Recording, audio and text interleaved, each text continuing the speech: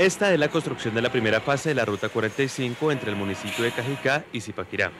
Las obras tendrán un costo de 1.600 millones de pesos y se extienden a lo largo de 3 kilómetros la primera entrega. Consisten en este puente y la doble calzada que al terminarse se conectarán.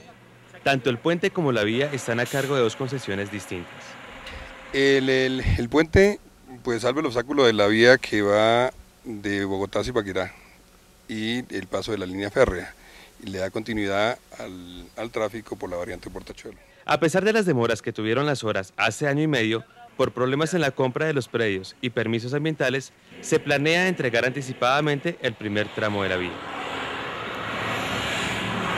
Eh, nosotros estamos empecinados en hacer entrega, eh, una entrega anticipada de esta que es la variante Portachuelo para mediados del mes de septiembre.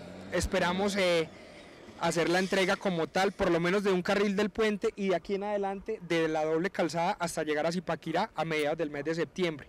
Esta es una obra que va a beneficiar a todas las personas que se transitan en la vía principal que conecta a la capital con el municipio de Zipaquirá. Se espera una mejor movilidad gracias a estas obras.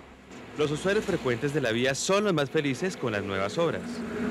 Está muy buena ahorita ya por lo que está terminando, pero cuando comenzó sí estaba terrible. Ahorita está muy buena, muy buena obra. Claro, eso descongestiona totalmente. Eso, tráfico pesado y todo eso queda muy bueno. La Secretaría de Planeación Nacional ya tiene aprobada la segunda fase de esta ruta nacional, que iría entre Zipaquirá y Ubaté e iniciaría una vez finalizadas las actuales obras. El propósito es empalmar las vías de doble calzada hasta llegar al departamento de Boyacá y Santander.